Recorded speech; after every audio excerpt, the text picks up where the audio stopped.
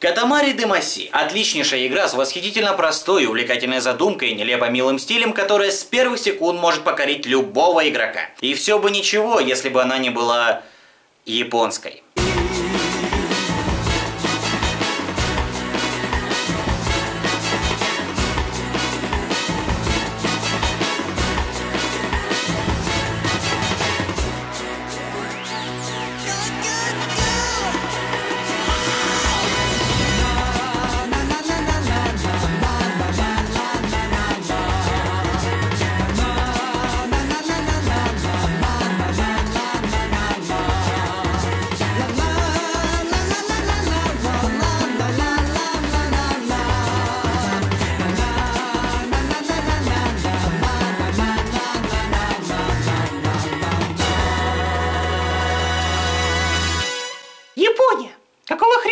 Странная? Я до сих пор не могу смириться с японской рекламой, некоторыми фильмами и играми, конечно. Что такое Катамари Демаси? Это симулятор созидания звезд и планет, если очень кратко. Играете вы за 5-сантиметрового принца, который, как и все его семейство, похож на транссексуальный молоток. Его отец, король всего космоса, знатно наколдыривший, случайно уничтожает все звезды, и с завидным пофигизмом, пожав плечами, король дает принцу Катамари, липкий шар, которому клеится абсолютно все, и отправляет его на Землю, где из всякого мусора, людей, слонов и небоскребов он создает новые звезды. Поначалу на шар липнут лишь скрепки, спички, тараканы и прочая мелочь, а всякие коты, дети и мыши и вообще все, что побольше 5 сантиметров и двигается, старается вас ударить. Но чем больше становится ваш шар, тем больше предметов вы можете цеплять. Поэтому, начав с иголок, вскоре вы будете лепить на свой шар кусты, людей, деревья, корабли, дома, облака, радугу, а после целые материки. А когда ваш шар будет готов, король заберет вас на королевской радуге и поместит новую звезду, состоящую из коров и визжащих детей на небо. Здравствуйте! Здравый смысл? Нет, не видел. Иногда надо будет создавать созвездия. Вот как, например, создать созвездие жирафа? Конечно, собирая на шар жирафов, как же еще? Увлекательно ли в это играть? Не то слово. Многоуровневые большие локации, странная, но милая стилистика и просто шикарная музыка поработят ваш рассудок и заставят думать, что вся наркомания на экране – это нормально. 25 место в квадрате. Half-Life. Что она тут забыла, спросите вы? А вы подумайте сами. Так ли нормально Half-Life на самом деле? Она же долбанутая. Ну, то есть это игра культовая, классная, но она долбанутая. Или загадочная, или странная. Я уже не помню текст. Тут странен сам сюжет и главный герой. Ну, то есть подумайте. Физик-ядерщик, который с бородой, который в очках, который с монтировкой, который может победить вас только в интеллектуальной дуэли в крестике-нолике, раздает по наркоманским инопланетянам, выносит на тренированных солдат, убивает гигантское толстое подобие ребенка, которое пере периодически заглядывает в мои кошмары и, главное, молчит. Все время молчит. Он нормальный? Конечно, он не нормальный. Как он может быть нормальным? Он же понимает ядерную физику. Пережив весь инопланетный хаос, его вербуют в некую организацию, представленную лишь загадочным Джименом, который следил за всеми нашими действиями. Извращуга. Нахрена им сдался физик, которому, возможно, всего лишь крупно повезло? Очень крупно повезло. Я не знаю. И во второй части на этот вопрос не был дан ответ. Напротив, все скатилось еще большую ахинею. Смотрите. Некая высшая раса, названная Альянсом, без труда захватила Зен, соединила ДНК тамошних инопланетян со своими рядовыми, сделав суперсолдат. После за 7 часов захватила всю Землю и вела тоталитарный режим, но эта всемогущая империя не может дать отпор физику-ядерщику. То есть вся планета Земля, все военные силы не смогли противостоять Альянсу, зато физик и пара бомжей с автоматами могут. Физик и пара бомжей спасают мир. Нормально? Нет, это странно. Второе место. Лугар. Еще одна необычная игра, странность которой даже не в том, что тропоморфный заяц разрывает пасти таким же тропоморфным волкам с помощью кунфу, лопати, соков и так далее, а в том, что да нет, именно как раз таки из-за этого она и странная. Но это всего лишь малая часть той странности, которую я могу без преувеличения назвать атмосферой. При том, что атмосферы здесь нет. О, как же объяснить? Ладно, в общем, вся атмосфера игры складывается из рукожопости разработчиков. То есть разрабы сделали настолько плохую по всем критериям игру, что она хороша. Лугару это файтинг от третьего лица, но это понимаешь далеко не сразу. Потому что с толку сбивает псевдопесочница, то есть вы можете бежать навстречу солнцу, а земля под ногами будет все появляться и появляться, причем просто земля. Не тебе деревьев, кустов, домов и хотя бы хоть чего-нибудь. И заниматься этим можно будет до бесконечности, размышляя о высоком и о том, какой херней вы здесь занимаетесь. У кроликов своя сила притяжения, чего они не прыгают, а буквально планируют, живут в кубах, в которых нет даже намека на двери и окна, и разводят костер из одного куста. Поскольку это файтинг, дракам здесь уделено много места, и драки действительно динамичные и напряженные.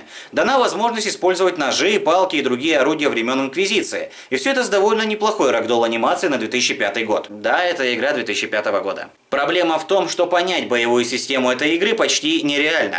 У вас есть всего одна кнопка удара. Одна. Ваш кролик периодически выделывает какие-то невероятные приемы, но повторить их обдуманно не представляется возможным. Поэтому все, что остается делать игроку, это долбить кнопку и прыгать, в надежде на то, что он не отбросит лапки раньше, чем против. В какой-то момент вы научитесь отбирать оружие у врага, делать контратаки и подсечки, уворачиваться, и уже будете думать, что познали азы боевой системы. Но первый же волк уничтожит эти иллюзии двумя ударами когтистой лапой. А все потому что эта игра довольно хардкорна. И вот это как раз таки все как-то цепляет. Начиная с главного меню, от которого в первый раз можно усраться, и заканчивая боевой системой, зависящей от множества факторов, таких как положение врага и типового оружия, игра погружает нас в этот странный мир с домами-кубами. Простая история про месть кролика за убитую семью кажется драматичной, а вся игра постепенно пропитывается мрачностью и гнетущей атмосферой. Кстати говоря, в Стиме уже есть ранний доступ к Overgrowth. Это идейный продолжатель Лугару. Все так же про кролика, все так же про драки, но теперь уже с более-менее приемлемой графикой и намного более понятной боевой системой. Плюс в игре инновационный движок, который выдает анимацию и физическую модель, зависящую от окружения и действий игрока. В общем, я жду новую порцию страны странности с кроликами. Восьмое место. DZ Bus. Эта игра должна получить множество премий и званий, таких как «Самая скучная игра в мире», «Самая нелепая игра в мире», «Самая нахрен такое нужно было делать игра в мире», «Самая бессмысленная игра в мире» и «Самая реалистичная игра в мире». DZ Bus это симулятор водителя автобусов из Аризоны, которому нужно доехать в Лас-Вегас. Устанавливаем время отбытия, залазим в автобус и едем. По прямой. 8 часов. Ты, наверное, не понял. 8 неигровых часов реальных часов. Человеческих. То есть сначала 12 дня ты закончишь 8 часов вечера. При том, как я уже сказал, ты едешь по прямой. Никаких поворотов, развилок, машин и прочей ненужной фигни. Просто прямая, открытая дорога. Пройти игру можно лишь тогда, когда ты наберешь 100 очков. За один проезд из Аризоны в Лас-Вегас мы получаем Одно очко. То есть путем нехитрых математических сложений выясняем, что чтобы пройти игру, нужно потратить на нее 800 часов. Да, думаю, у всех сейчас появилась такая мысль вроде «да я положу кирпич на клавиатуру и пойду к Ленке». Разработчики учли этот фактор, и чтобы Ленка оставалась на протяжении 800 часов в одиночестве, сделали так, что автобус постоянно уводит вправо, то есть его нужно постоянно выруливать. А если не вырулить, то автобус заедет на грунт, остановится и продолжать свой непростой путь не сможет. Но это не game over. М-м. Вы должны прождать эвакуатор, который подцепит вас и увезет обратно в Аризону. И неважно, сколько вы проехали. То есть представьте, вы ехали 7 часов. Уснули, что вполне реально. Заехали на грунт, подождали 7 часов, пока приедет эвакуатор, подцепит вас, что тоже довольно-таки долго. И еще 7 часов вы будете ехать обратно. Просто Заебись. Кстати, в игре есть даже босс. Спустя 4 часа вашей поездки в стекло врезается некий богомол и запачкивает стекло. Кто-то однажды прошел игру, набрав 100 очков, но узнать, что же за приз нас ждет в конце, никто так и не смог выяснить, поскольку победитель попал в дурку на долгое время. Так что если у вас крепкие нервы и полно свободного времени, мы ждем от вас информации. Место Пи. Another World. Странная эта игра покажется разве что современному поколению, потому что раньше всякая неведомая поебень была нормальной. Понять очарование этой игры, смотря на три треугольных полигона, трудно, но игра того стоит. В чем суть Another World? Она бросает вам вызов каждые 20 секунд. Каждые 20 секунд Another World проверяет на прочность вашей яички. Если вы сделали в игре 50 шагов и не умерли, значит вы везунчик, потому что вы будете умирать, умирать, умирать, и до тех пор, пока не наумираетесь до финала. Убить вас может все. Слизняк, водоросли, камень, водопад, снежный человек или чубаки-альбиносы, я просто не знаю, как называется трасса инопланетян. Играете вы за сына Гермионы Грейнджера и Рона Уизли, он такой же умный, такой же рыжий. Однажды, сидя у себя в лаборатории, попивая пивко и разгоняя частицы в андроидном коллайдере, главный герой за удара молнии перемещается в измерение, скажем, X. Прямо со своим столом. Так что, дети, не включайте свой андроидный коллайдер в грозу. Это измерение сразу показывает свои зубы, пытается убить героя в первые же секунды игры. Вообще пройти на The Vault в первый раз не умерев невозможно. В этом вся и фишка. Вы должны методом проб и ошибок догадаться, что делать дальше. Потому что никто и ничто вам не расскажет, что делать. Управление? Разбирайтесь сами. Лазерный пистолет умеет выпускать мощные заряды? Вы должны об этом сами были догадаться. Вы умерли, а последний чекпоинт был давным-давно? Но это же ваша ошибка, чего вы ноете? Если вы раньше не играли в Another World, вы точно получите новый опыт. Это одновременно хардкорная и простенькая игра, в которой все ваши ошибки совершаете только вы, а не плохой геймдизайн.